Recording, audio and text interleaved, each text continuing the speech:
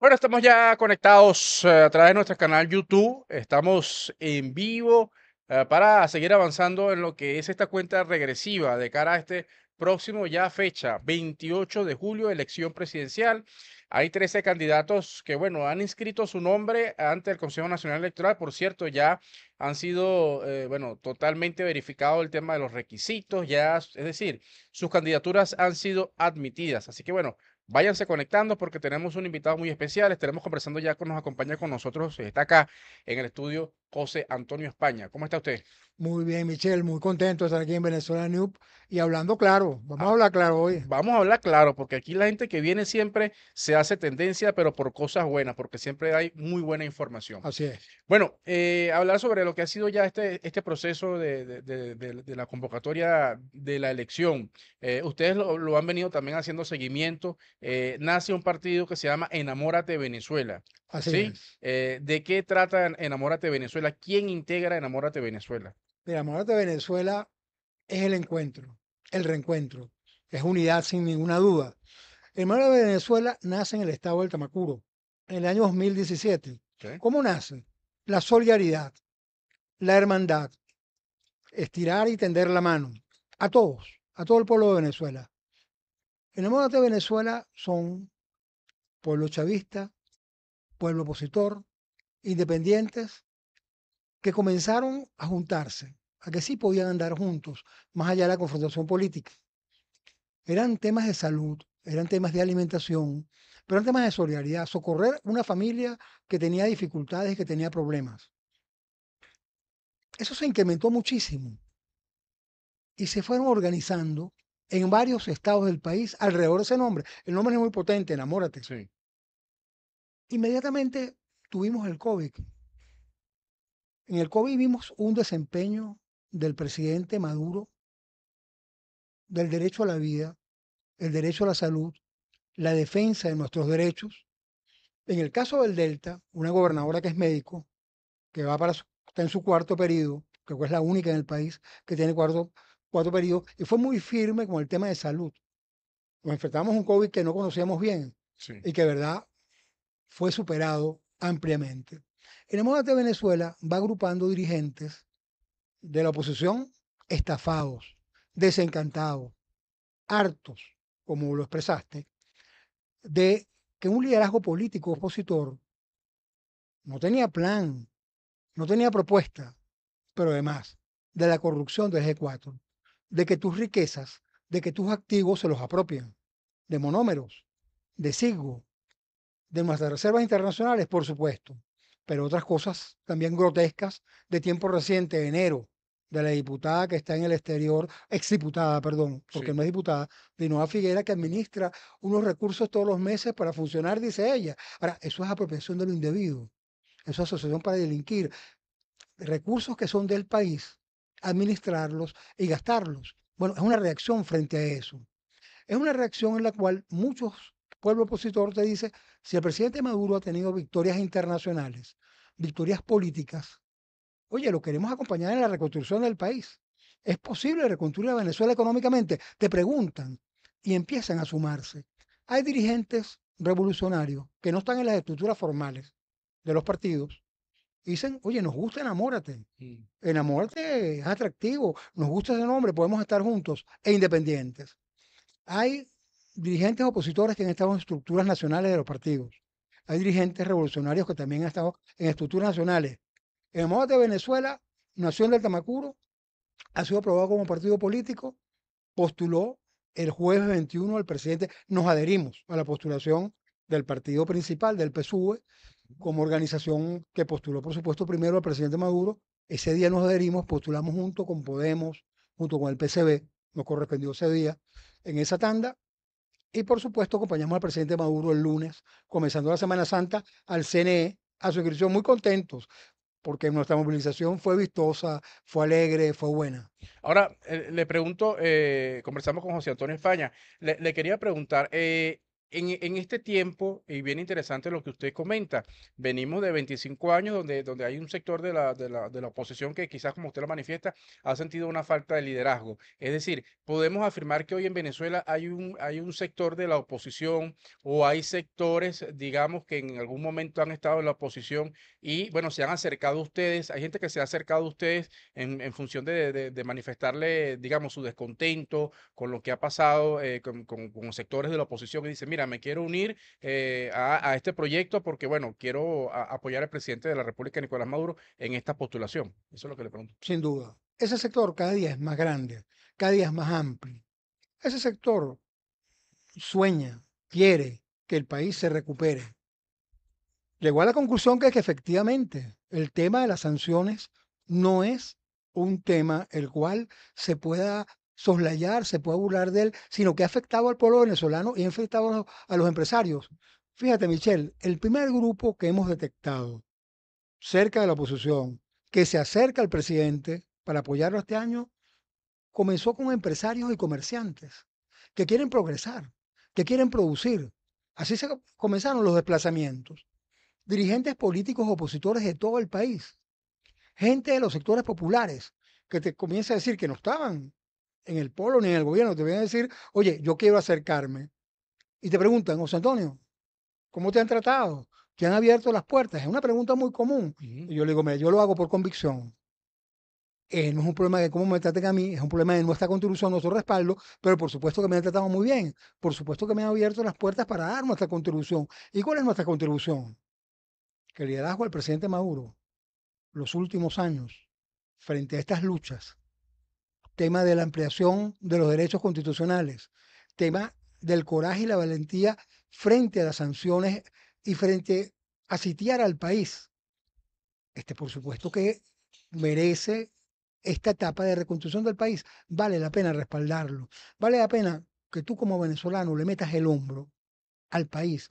Mira, el amor de Venezuela tiene tres premisas muy importantes, fundamentales. Sí. Primero, la patria. El presidente Maduro es un presidente patriota. Segundo, la constitución.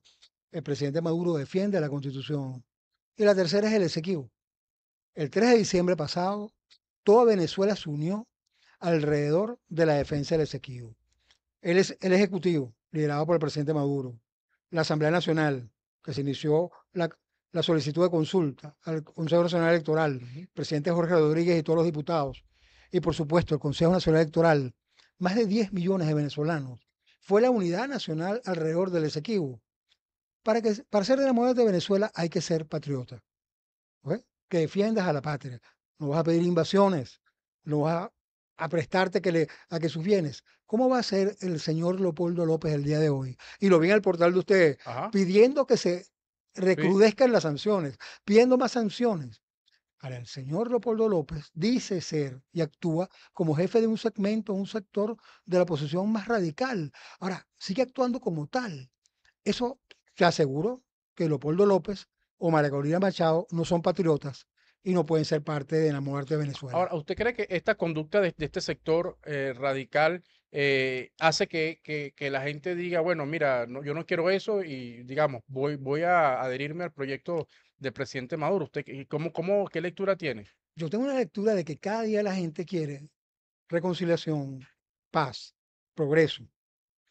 Y el presidente Maduro ha logrado, ya lo comentaba, victorias en política nacional, en política internacional, y ha comenzado un proceso de reconstrucción del país. Hay señales positivas de recuperación económica en Venezuela.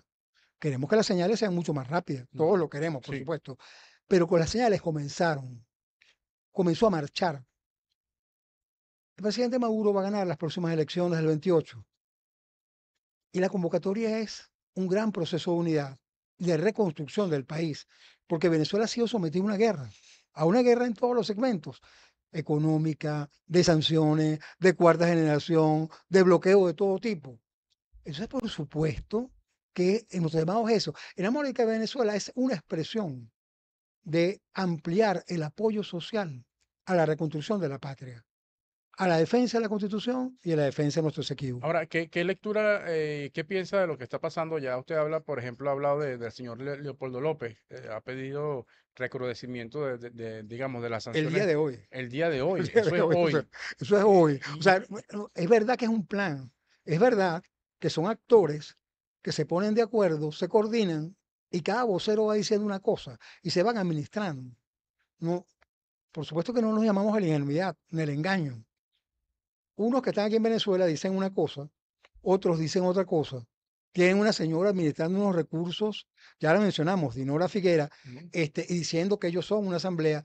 Hay una cosa muy grave que yo creo que es muy importante y por eso hay que respaldar dos proyectos de ley en la Asamblea Nacional. El de castigar los delitos de traición a la patria y por supuesto el que tiene que ver con el fascismo, neofascismo que presentó, presentó la vicepresidenta Delcy Rodríguez. No conozco los textos, me llegaron hoy y los voy a comenzar a leer, pero los delitos cometidos con la Constitución tienen que tener un carácter agravante, todos. Sí. Esto es derecho penal, pero deben tener un carácter agravante. Como tú sabes, hay atenuantes y agravantes. Todo el que atente contra la Constitución, esos delitos deben tener una pena agravada. Ahora eh, le pregunto, eh, lo que quería justamente en torno a esa materia, ¿cree usted que, que hay un plan eh, de estos sectores? Porque uno, Leopoldo López dice que apoya a María Corina. eh, ahora María Corina dice que ella cree en elecciones cuando ayer pidió la intervención, la invasión militar, pero a su vez Leopoldo pide, digamos, más bloqueo. Bueno, María Corina ha dicho que ella sigue siendo candidata y que se va a escribir 10 días antes de la elección. Entonces, bueno, ¿cree usted que, que digamos, cuál es el final de ella o cuál es el final de este sector radical, a su juicio? ¿Qué, cuál es ese final? Los venezolanos quieren elecciones, los venezolanos quieren paz y quieren reconciliación. La señora Machado es la jefe, no un partido político porque 20 Venezuela jamás ha sido un partido político. 20 Venezuela es un grupo irregular, es un grupo subversivo que quiere dar un golpe de Estado, que quiere hacerse de poder por cualquier mecanismo y sobre todo no constitucionales. Entonces creen que los venezolanos se dan cuenta que juegan en muchos tableros, ninguno el de la constitución.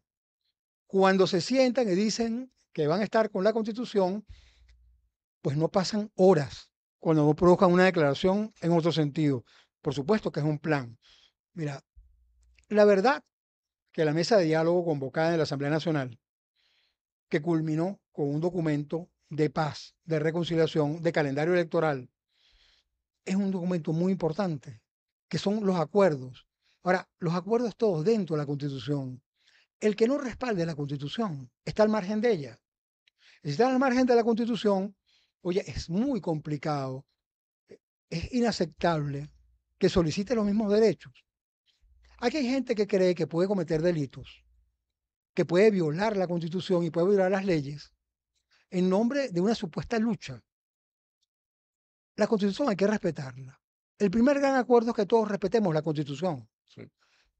A los amigos que hacen vida política y tienen derecho a tener una opinión política, lo que no pueden derecho es a, te- a subvertir el orden, lo que no tienen derecho es a violar la Constitución y a confrontar las instituciones. Entonces, poderes públicos, respeto a los poderes públicos, fecha de elecciones, fecha de elecciones. Si alguien está inhabilitado por alguna razón es, son expresas. Y están largas las razones de la inhabilitación de la señora Machado. Mira, muchos diputados, en el periodo que yo fui diputado, no presentaron sus dec- declaraciones juradas de patrimonio y los inhabilitaron. Mm, Bueno, esa es una obligación constitucional. Yo acabo de presentar mi declaración de impuestos sobre la renta. Ahora, Es mi obligación. sí, Michelle, o sea, si no lo hago, pues soy multado. por supuesto. Ahora, La tuya también. Claro, todos tenemos que presentarla. Claro. Ahora, ahora fíjese lo siguiente, ¿qué, qué va a pasar entonces? Es decir, eh, eh, pe- hay sectores ahí, bueno, hay, hay- una, di- una diversidad de sectores. Ellos dicen que supuestamente en Venezuela hay, hay una, hay una democracia, que, perdón, hay una dictadura, quiero decir, y dice, no, que en Venezuela hay una, hay una, hay una dictadura, que no se respeta la democracia, que no se respetan los derechos humanos. Eh, hay un acuerdo de Barbados y entendemos que en el acuerdo de Barbados no aparece por ninguna parte eh, una, eh, referirse a un caso en particular de algún candidato. ¿Usted cree que se le ha violado, por ejemplo, los derechos a, a María Corina o a alguna otra persona? Porque de hecho hubo una revisión de los casos y hubo, hubo eh, digamos, casos que fueron favorables y gente que está participando como Daniel Ceballos, como por ejemplo Leoceni García, como el, propio que se levantó, el que era del Estado de Aragua, que se, eh, Richard Mardó, por ejemplo. Mira, efectivamente la voluntad de diálogo del gobierno ha sido permanente. Noruega, Barbados, México. Por la conclusión de la mesa de diálogo de la Asamblea Nacional fue correcta. Vamos a dialogar en Venezuela, en Caracas. Ese grupo, el G4, fue a la Asamblea a una hora diferente que se reunía, digamos, la mesa más grandota de diálogo, este, y bueno, tuvieron que, ir a la Asamblea. Nada tiene por qué ser escondido, nada tiene por ser en silencio. Y bueno, vino ver una delegación de Noruega y bienvenida a la reunión. El gobierno se porta de la manera con responsabilidad con el diálogo permanente. Ahora, una cosa es el diálogo permanente y otra cosa son cumplir la constitución y cumplir las leyes. La señora María Corina Machado está inhabilitada, está por un solo caso. Aceptó ser embajadora de otro país, particularmente de Panamá, para cumplir misiones diplomáticas. Eso se lo prohíbe la constitución. Pero el listado es mucho más largo. La gente que pide sanciones. Imagínate tú, este ejemplo lo puso Teodoro Cabello en el mazo me pareció este, impecable. Un ciudadano norteamericano que convoca una rueda de prensa en los Estados Unidos e invite a invadir, aplicar medidas y sanciones contra su país, seguramente es detenido inmediatamente. Claro. La señora Machado da ruedas de prensa con medios nacionales e internacionales. ¿Ok? Es una dictadura como muy extraña, ¿no? ¿Ok? Eh, los canales de televisión entrevistan a dirigentes opositores de todos los sectores, radicales, no radicales, de la Alianza Democrática, a los distintos candidatos presidenciales, a todos. Es como extraño, tal cantidad, o sea, no solamente la libertad de expresión, no solamente los derechos no han sido limitados. Al contrario, ahora la campaña tiene unas normas, unas reglas. No puedes hacer propaganda electoral contra el Estado o contra la elección. No vas a llamar a la abstención desde una cuña de, este, televisión, no puedes hacerlo. eso sí es violar los derechos. Lo que quisieran de verdad es una guerra, ya la plantearon. Plantearon una guerra. Las invasiones, los magnicidios, no son leyendas urbanas, son absolutamente ciertos y demostrables. Es que se le puede decir al mundo cada cosa que aquí ha pasado. Y han pasado una política que fue derrotada, fue derrotada con firmeza, con coraje, con la constitución y en paz y en reconciliación. Es la manera como fue derrotada esas posturas extremas. Lo de los famosos plátanos en Distribuidor de Altamira, lo de Macuto, cada hecho de esos es cierto, existieron, están documentados, están grabados. O sea, no es mentira que la señora Machado ejerció una representación diplomática de otro país. Ahora, ¿De qué se trata? ¿Usted está de acuerdo con esa inhabilitación que se le hizo a la señora Machado? Yo estoy, no solamente que esté de acuerdo, sino es que yo creo que todo el que no es patriota, o sea, yo creo que, por ejemplo, un caso muy actual, haber pasado agachado en el tema del Esequibo y no defender al Esequibo cuando teníamos una agresión enfrente, es demasiado grave, es demasiado grave para nosotros como país es demasiado grave. El incumplir tus deberes, porque no solamente son derechos que están en la Constitución, también tienes deberes, Michelle. El que incumpla sus, sus deberes como patriota, pues no puede tener todos los derechos constitucionales. Ahora, ahora le pregunto, eh, ¿qué, qué, o sea, en este momento quizás hay un sector, digamos, se habla de un sector que, que apoya, digamos, eh, digamos, progresista al, gobierno, un sector a la oposición, también se habla de un, de un sector ni-ni. ¿Usted cree que ese sector, eh, digamos, va a buscar más, en esa oposición son variopintas? Uno encuentra al sector radical, por ejemplo, la MUT escribió a, al, al, al doctor Edmundo González, Está Leocenis, por ejemplo, se define como de derecha. Está eh, Luis Eduardo Martínez, aparece Manuel Rosales. Le pregunto, ¿por qué, eh, digamos, un opositor que quizás está descontento con, algo que ocurre en la oposición no se refugia en un sector, por ejemplo, como Rosales, que sería como un sector de oposición no tan de extrema derecha a ahora o en contraposición venirse a apoyar al, al- al gobierno. ¿Cuáles serían esas, eh, Bueno, eh, porque digamos, por esa es la mejor expresión. ¿Te recuerdas aquella película? La has visto, la has visto que durmiendo con el enemigo. Este, se odian, se insultan, se agreden. Después es difícil que se crean unos con otros.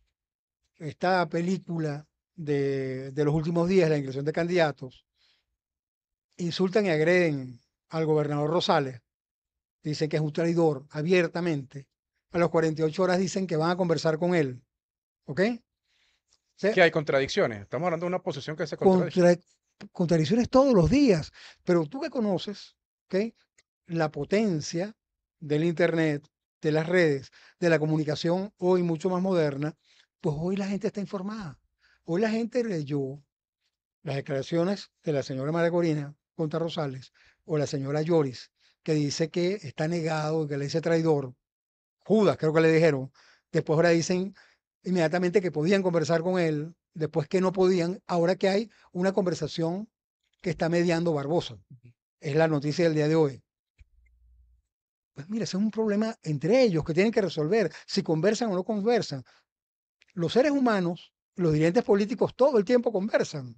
Por eso es que el gobierno ha sido, digamos, siempre empeñado en el tema de la conversación, del diálogo, del acuerdo y de la paz y la reconciliación. Ahora, Michelle, ¿no has visto en todas las declaraciones de casi todos los sectores opositores que comienza, nadie lo sacará de la ruta del voto? Vamos a votar, porque se abstuvieron una y otra vez todos los que están de un lado, ¿ok? Que no son el G4 también, este, se han salido de la ruta electoral y han perdido años, 5 o 10 años, volviéndose a convencer de que hay que votar. Siempre hay que votar sin ¿Usted cree que hay un sector que va a llamar a la abstención ahora en el 28? Mira, yo espero que no. Pero está claro que hay un plan. Está claro que están dando pasos, que es un chantaje. O las elecciones se hacen como yo quiero, en las condiciones que yo quiero, o yo las choteo, o yo las saboteo. Les tengo que decir algo. Las elecciones se van a decir tal como están en la Constitución y en las leyes electorales. Así van a ser. No van a ser de ninguna otra manera, van a ser institucionales. Hay un sólido sistema de partidos políticos que va a aparecer en el, antes le decíamos tarjetón, hoy en la pantalla de la máquina electoral, ya no es un tarjetón como tal, este, en la pantalla de la máquina electoral, 37 partidos políticos. ¿ok? La verdad, quienes llaman a la extensión se vuelven a equivocar. Quienes pasan agachados, pero no hagan nada en la elección, también se vuelven electoral, se van a equivocar. Yo creo que hay un torrente de venezolanos que quieren reconciliación, que quieren paz. Y es, es por eso que el presidente Maduro, no solo estamos seguros que va a ganar el 28, sino que esta campaña, el presidente Maduro va mucho más allá del tema de todos los partidos. Es el tema de la unidad nacional, es el tema del reencuentro del país. El, Se me el parece presidente mucho- Maduro garantiza el reencuentro del país, le pregunto. Lo, lo garantiza por su compromiso con la patria, por su compromiso con la constitución y por su compromiso con el Esequibo. A ver, aquí por ejemplo me, me preguntan, me dicen, eh, ¿por qué eh, José Antonio España eh, se fue de la oposición? De la oposición que él representaba. ¿Por qué se fue de la oposición y por qué apoya ahora al gobierno? Porque rectifiqué. Porque para mí, quienes violaron la constitución, quienes un mamotreto en la Asamblea Nacional que estaba en desacato, aprobaron el estatuto de la transición, Michelle. Qué bueno que, que me da esa oportunidad este amigo que, te, que nos hizo esta pregunta. El estatuto de la transición, que no ha sido suficientemente investigado, resume en un solo funcionario, para la época del exdiputado de La Guaira, Juan Guaidó, de ingrata recordación, los cinco poderes públicos. El ejecutivo, el legislativo, el judicial, el electoral, el moral, todos los poderes públicos. Él podía cambiar- eh, convocar elecciones, él podía juzgar a una persona, él era presidente de la República, era, eh, eh, quería todo. O sea, mira, ni Carmona se atrevió tanto, Sí. ni siquiera Carmona se atrevió tanto, la verdad. O sea, eso es una cosa que está en una mentalidad totalmente fascista, es un to- to- totalmente que no le importa destruir el país y llevarse todo por delante. Cuando atacaron la constitución, cuando dijeron que había una falta absoluta del presidente Maduro, yo dije, pero ¿cómo falta? Tú eres diputado de la oposición. Yo lo veo dando declaraciones todos los días y lo veo en regiones diferentes o inaugurando obras. O sea, obviamente que no hay una falta absoluta permanente. Cuando vi al señor Julio Borges rompiendo una sentencia y rompiendo con el acuerdo dominicana, pues ya estaba sacando a la familia fuera del país. Dije, por supuesto que aquí hay un plan. Cuando los vi llamando a la abstención, yo no podía acompañar la violación de la Constitución y tengo que decir, José Antonio España rectificó, pero muchísimos venezolanos están rectificando, muchísimos dirigentes políticos están rectificando, mucha gente del pueblo que ha sufrido las tensiones, mucha gente del pueblo que lo ha pasado mal, porque efectivamente fue el esfuerzo del presidente de la República para conseguir las vacunas del COVID pero no teníamos cómo comprarlas inmediatamente. La generosidad de países amigos, sin duda. Mira, este esfuerzo ha sido muy grande en la recuperación de Venezuela y la recuperación del país. José Antonio España rectificó. Yo le pido a parte importante del pueblo opositor que hoy estás desinformado, desencantado, estás molesto, que si hay una posibilidad de unirnos todos alrededor del liderazgo del presidente Maduro y que él tiene un compromiso contigo y lo tiene con el pueblo que es reconstruir la patria, reconstruir la nación con la constitución en la mano. Ahora, eh, en, qué se debe avanzar? Eh, digamos, o por ejemplo, una, se ha hablado mucho eh, de, los, de los candidatos que hacen vida acá en, en, ya los 13 candidatos, no sé en el caso del mundo, digamos, para fijar una posición de, rechazo a las sanciones. No he escuchado al doctor El Mundo, en, torno a esto, pero ¿qué, qué, qué tema juegan las, las, sanciones? ¿Debe haber un pacto en función de rechazar esto o debe ser un compromiso de todos los que estén participando? Mira, los compromisos y los pactos siempre se pueden firmar.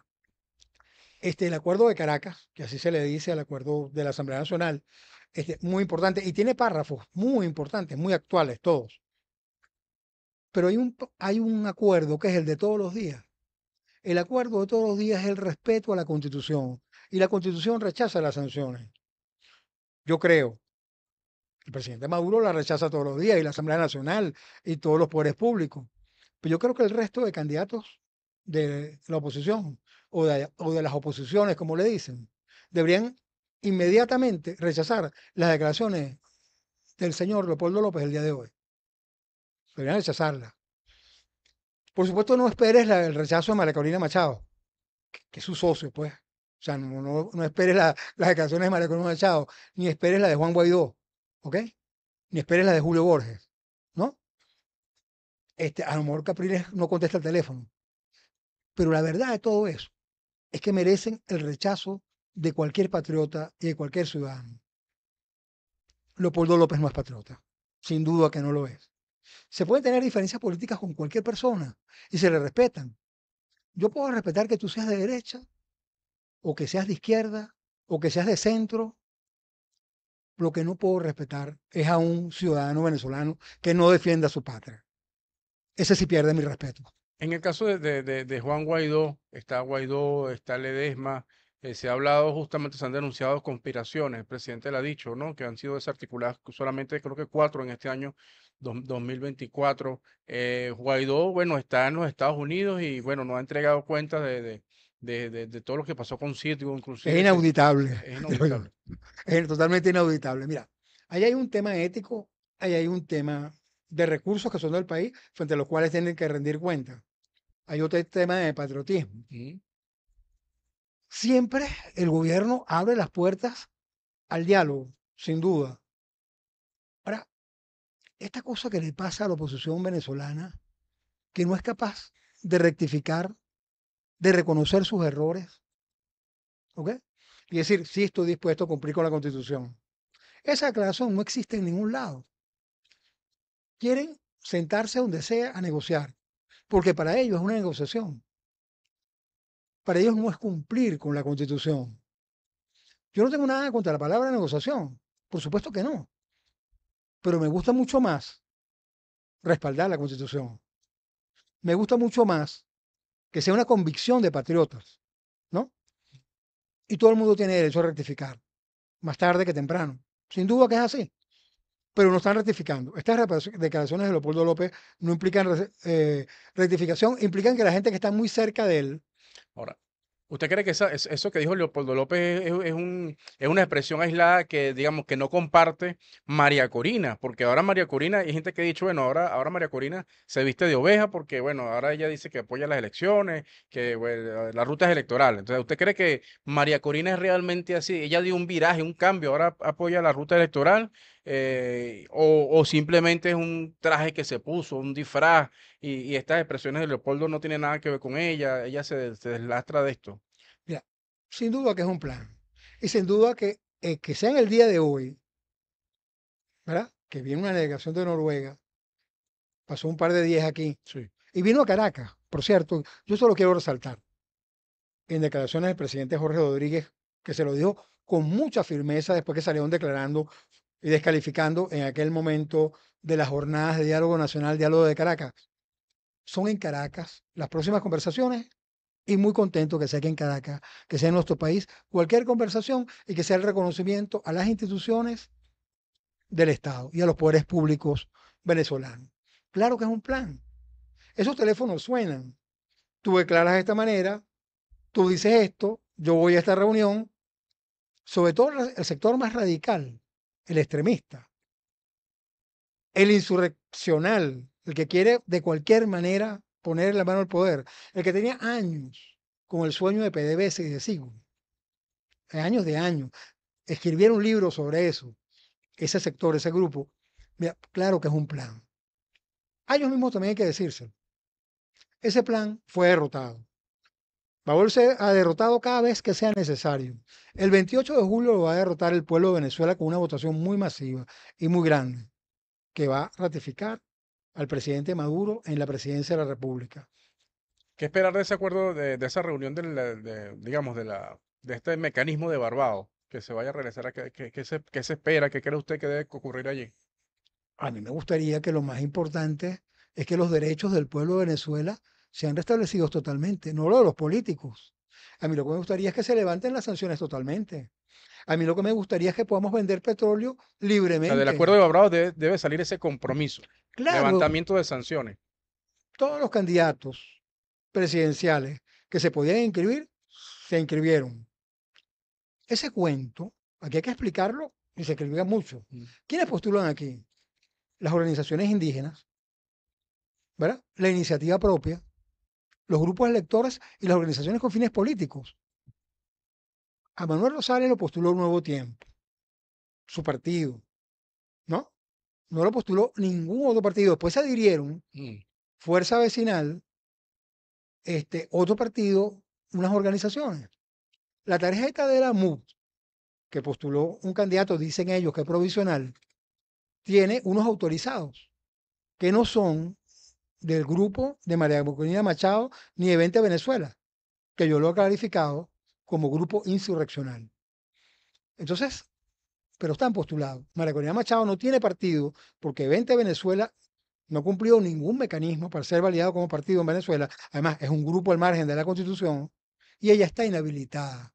O sea, ella no, ella no puede postular, ni tiene partido que la postule. Sí, hay un conflicto interno en esta llamada plataforma y, y es que ella no tiene, eh, digamos, partido para postular. Es decir, el, el tema está allí, Por eso que se engaña, se, eso busca- que hay se ha engañado hay la- que, hay que decírselo al mundo. se ha sea, engañado a la gente haciendo creer que, la, que, que, digamos, que, que esa oposición no ha postulado. a mí me gusta el fútbol, pero si yo quiero jugar en, en- en la primera división del fútbol venezolano y no soy de una plantilla de fútbol y no me meten en la alineación como juego fútbol, pues yo no soy del Caracas Fútbol Club, no soy del Táchira, o sea, no soy de ningún equipo de fútbol, además no soy jugador, o sea, no estoy en la plantilla. La señora Machado está inhabilitada y no tiene partido político, no tiene que, postule. Mira, no otro partido no la podía postular por inhabilitada y ella tampoco tiene partido. Nuevo Tiempo postuló a Rosales. Fuerza Vecinal postuló a Rosales. Mm. La MUD se reservó su derecho a postular a alguien para postular y sustituirlo seguramente en unos días. Ese es un problema que tienen que solucionar Pero- ellos. Esa, esa, esa, esa novela no pidan que se la solucionemos nosotros, ¿no? Porque la verdad es que no. O sea, nosotros estamos dedicados, haremos una gran campaña electoral, le diremos al pueblo por qué estamos apoyando al presidente Maduro, por qué opositores decepcionados y hartos, por qué revolucionarios y por qué independientes somos un piso social que amplía las bases de apoyo del presidente Maduro en esta ele- elección. Ahora, Porque enamórate de Venezuela es reencuentro y es unidad. ahora Ma- María Corina dice, no, eh, yo me puedo postular o yo puedo sustituir 10 días antes de la elección, es decir, el, el, el 18, el 18 de julio. Eh, ¿qué- ¿Cree usted que eso es Yo una soy oferta, abogado. es una oferta engañosa? Yo soy abogado, Eh, me dediqué, o sea, me dediqué poco al ejercicio ajá, porque me dediqué de lleno al trabajo social y político. Que entiendo, si mal no recuerdo, que hay dos razones. O la renuncia del candidato postulado para sustituir, que ya no hay fórmula que aparezca en el tarjetón, en la máquina, o la muerte de esa persona postulada. Son dos razones. Dos razones que yo no veo posibles. La inhabilitación de la señora Machado, yo no me acuerdo cuántos años es, me puedo equivocar, creo que son 15 años. sí. Ok. Sí. O sea, ella tiene que cumplir su inhabilitación. O sea, no la pueden postular. Eh, no hay manera de que sea candidata realmente. Ahora, si ella no quiere apoyar a otro, si hay que decirle a los partidos con los cuales hizo una alianza que tiene que ser la que ella decida, si esos partidos se lo calan, que sea a dedo, ese es un tema entre ellos, es una novela que seguramente no va a culminar, porque después del 28 de julio, un presidente de la República electo por una gran votación mayoritaria, para no decir muy alegre que va a ser estas elecciones, vas a tener una señora resencida, reconcomiada y con la misma prédica, el mismo discurso. O sea, pensando y deseando que a nuestro país le pasen todas las cosas terribles, las desgracias, queriendo que al pueblo no le vaya bien. Esa manera de pensar que si al pueblo le da mal, si el pueblo pasa hambre, si el pueblo no tiene medicinas, si el pueblo se va a rebelar y la va a poner presidente, yo creo que es el peor error. El pueblo escogió otro camino. El pueblo escogió el camino de reconstruir al país, de acompañar al presidente y de la reconciliación y de la paz, y no de la confrontación, mucho menos de la violencia. Los venezolanos no son violentos. Eso sí, son firmes, son patriotas. El venezolano es firme, es patriota para defender el Esequibo, para defender la constitución. Ahora le digo, ¿cree usted que hay gente de, de ese mismo, de esos mismos sectores allí ahorita que, digamos, dudan de seguir en ese camino? Pues, digamos, en el camino de, de ese tema que usted ha dicho, bueno, insulto, me reúno, sí, no, eh, te insulto, o sea, gente que, eh, ¿cree usted que hay gente que dice, Yo bueno, soy un caballero y no voy a decir. bueno, pero bueno, hay- usted cree que, bueno, no me diga nombre, pero hay gente de esos sectores de oposición que se han acercado a usted porque ha dicho, mire, este, los aquí no vamos por ninguna parte. que en la política venezolana nos conocemos, Ajá, si no todos, casi todos. Te preguntan en una panadería, te preguntan en un carrito, te preguntan en una esquina, algunos te escriben y te, dicen, esto no se tolera más, esta cantidad de torpezas. Y te voy a decir algo, Michelle, una que me llena de satisfacción. Qué buena decisión tomaste. A mí me es difícil tomarla, pero estás en lo correcto, estás en lo acertado. Ese mensaje se ha repetido de esos dirigentes políticos que tú señalas en distintas ocasiones. Como soy un caballero, no voy a decirlo. No te voy a dar el tubazo todavía de, de muchos que están conversando con nosotros. No quizás de esos más radicales, pero sí hay muchos dirigentes políticos conversando con nosotros, llenos de expectativas, que te dicen, lo estoy evaluando, lo estoy pensando. dirigentes políticos de oposición que han conversado, se han acercado a usted como de Enamórate de Venezuela para, digamos, para salirse de ese, de esa Queremos situación, de esa tormenta que vive la oposición. queremos conversar, queremos hablar, quiero rectificar. Este es permanente, porque el tema de, de esos sectores radicales, ¿qué ofrecen esos sectores radicales? Lucha, guerra, confrontación, odio, venganza. Tú conoces la figura del tornillo sin fin, que nunca enroja. Bueno, esa es una política de un tornillo sin fin. Tienes al presidente Maduro con programas sociales todos los días, rodeado mujeres, jóvenes. Tú volteas a la Asamblea Nacional, a los consejos legislativos, jóvenes, mujeres, volteas a las VC, a las calles, ves el pueblo incorporado y ves renovación, incluso. Entonces, muchos de ellos están en una profunda resurrección. No quieren seguir por esa ruta. Les ofrecemos una ruta, una ruta firme, segura, una ruta donde la constitución, donde el respeto es una posibilidad. Te decimos al pueblo opositor, hay que reconstruir el país. Quien tiene la fuerza política, social, internacional para reconstruir a Venezuela, para convertirla en un país potencia como todos queremos, es el presidente Maduro. Acompañémoslo.